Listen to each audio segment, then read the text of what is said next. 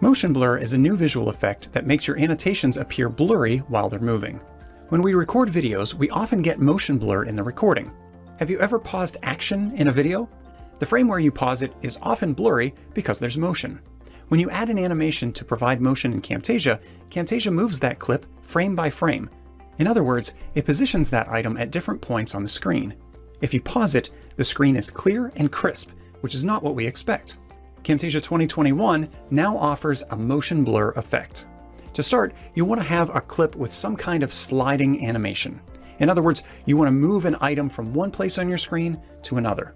When you move frame by frame, using the comma and period keys, you can see that it's a very clear, crisp image at every point.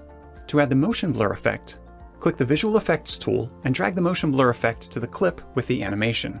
When you look at the frames in the animation, you probably see some blur. The amount of blur is affected by the amount of motion there is. If you have an item that's moving very little, you'll see almost no motion blur. If you have an item moving several pixels each frame, then you'll see a lot more motion blur. Notice there's an intensity slider in the properties panel. An intensity of zero has no blur. As you increase the percentage, you get more semi-transparent copies of the item.